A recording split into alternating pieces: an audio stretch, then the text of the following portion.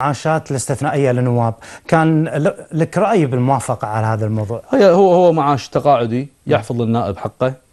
في حال حل المجلس وما رجع أو آه تم يعني الانتهاء من من من الأربع سنين مات المجلس أنا قدمت. يعني طلبت كتاب إني أوقف هذا المعاش عن الكلام اللي قاعد يدور وأيضا سيذهب إلى المحكمة الدستورية لتعطينا أنت لا ما عطلت أنت طلبت تفسيره. طلبت تفسيره بعد ما بس وقفت عليه. يعني طلبت قدمت كتاب إني أوقف المعاش اللي قاعد يجي لي لأن إذا ما كان دستوري ولا هذا الفلوس لازم ترجع. أنا بالنهاية عندي حلال وحرام. آه قبل لا ننتهي سمعتك تقول يمكن ما وقت أنا عندي كلمة أخيرة. أنا واعي إن درب محاربة الفساد راح يخلق لي خصوم وخصوم كبيرة.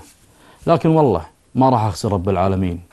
ولا راح أخسر نفسي ولا راح أخسر كل صوت وثق فيني عشان كرسي. العمل وفق مبادئنا وقناعتنا داخل قبة البرلمان. خارج القبة حنا أصحاب وأخوان داخل القبة في محاسبة وفي عمل وفي مبادئ والأهم في رب العالمين.